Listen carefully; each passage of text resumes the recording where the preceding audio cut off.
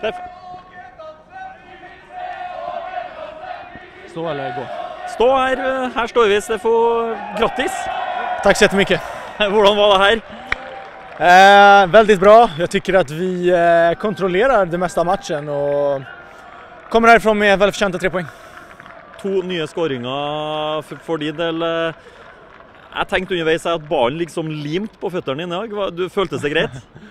Ja, men det känns bra. Det är eh, skönt att spela och kunna hjälpa laget och bidra med, med tre poäng. Så att, eh, det viktigaste är att laget vinner och så alltid kul att göra mål. Og så skårer du ikke bare mål, du gir ut låter òg. Og nå skal du få muligheten til å pitche låta di. Kom igjen! Ja, men det är alltid bra. Och, ja, men det är perfekt helg helt enkelt. Ja. Låtsläpp, eh, ja, tre poäng, Rosenborg vinner, lite mål. Så att, eh, ja, en perfekt helg. Det er utrolig tett oppe i toppen her nå. Eh, hva tenker du om veien videre?